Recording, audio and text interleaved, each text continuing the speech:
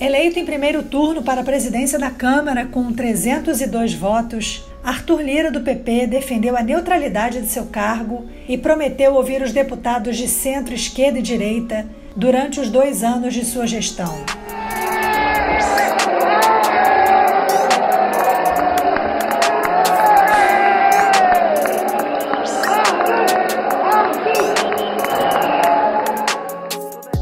Como primeiro ato após ser eleito presidente da Câmara dos Deputados, ele indeferiu o registro do bloco de seu adversário, Baleia Rossi, do MDB.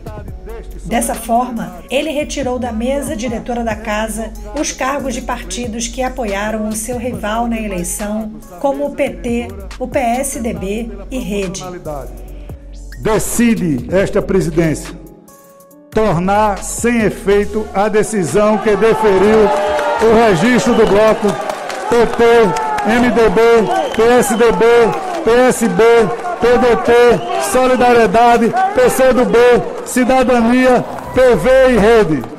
Apesar da sua intempestividade, gerando nulidade insanável para as eleições aos cargos da mesa diretora sujeita ao cálculo da proporcionalidade partidária.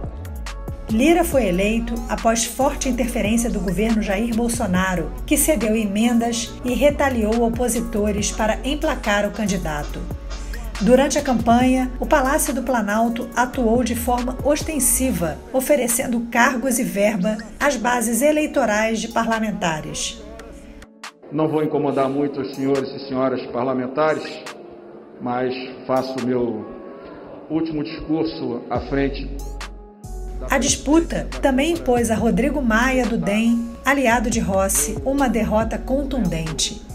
Maia se emocionou em seu último discurso antes do início da votação.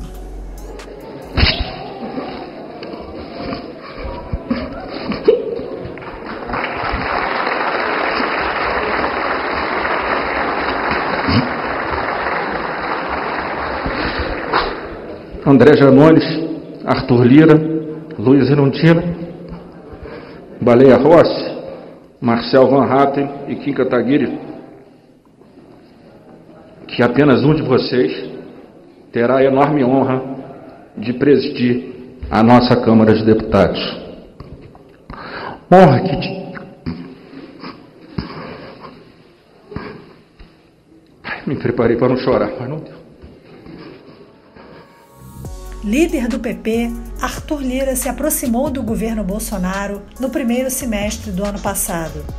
Foi visto pelo Palácio do Planalto como a garantia de que não seria aberto um processo de impeachment contra o governo.